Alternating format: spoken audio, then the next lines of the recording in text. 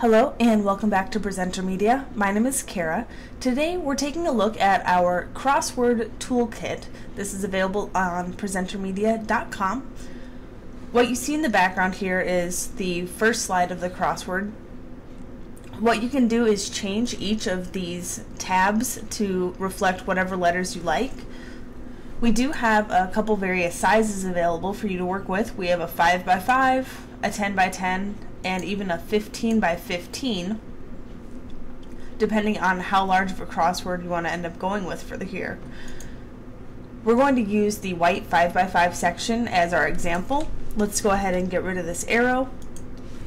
Now for the words that we're going to choose, we'll just select house. So we'll type in an H when we click on the first letter, O when we click on the next, and so on and so forth.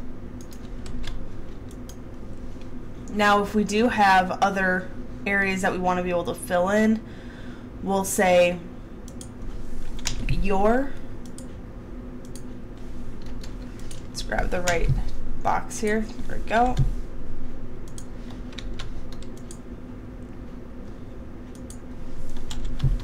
Say how your house.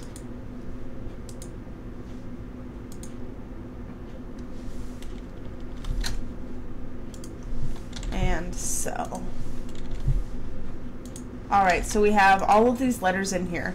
Now we do have the other blocks that we don't need. So you can go ahead and actually just click on those blocks and hit the delete key on your keyboard.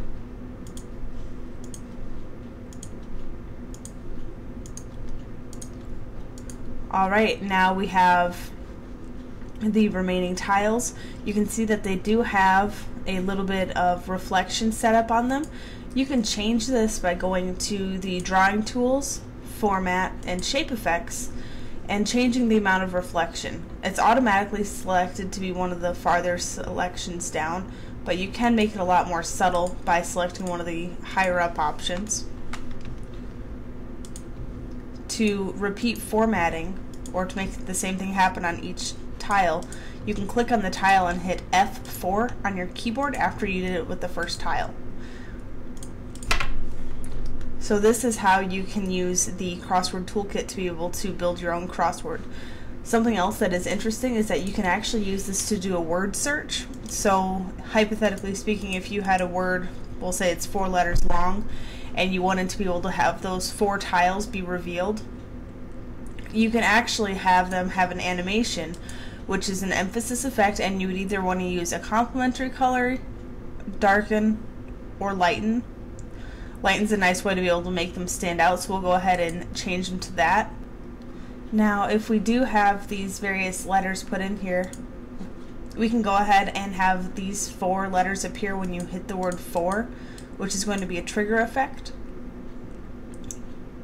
The word for is actually a text box. It's text box number one. So we'll go ahead and get rid of the animation for that and we'll play the presentation. Now you're not going to see quite the whole presentation, but you can see the letters that we have in the middle here. When we click on the word for, you'll see how those actually end up lightening up and are able to be seen. You can have them get darker again if you just apply a secondary trigger effect to them. So if you click the four and they light up, you can have it reset by having a reset button off to the side. This has been a demonstration of what you can do using our Create Your Crossword Toolkit here at PresenterMedia.